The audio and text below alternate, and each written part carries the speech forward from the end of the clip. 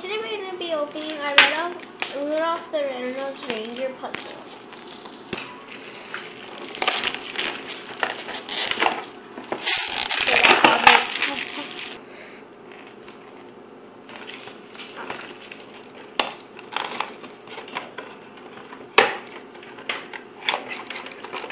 Is that all our pieces?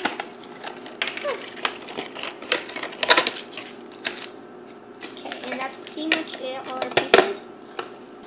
So guys, we were missing was just two pieces, and I don't know why we were missing two pieces. I barely even opened it, and it's still just missing two pieces. So here is how we did it.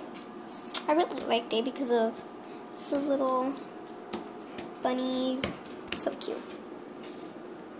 So this is how the puzzle looks. Just like this one, but I don't know why it's missing two pieces. It doesn't even have anything in the box. Okay guys, so that's it for this video and please keep watching and subscribe. Bye!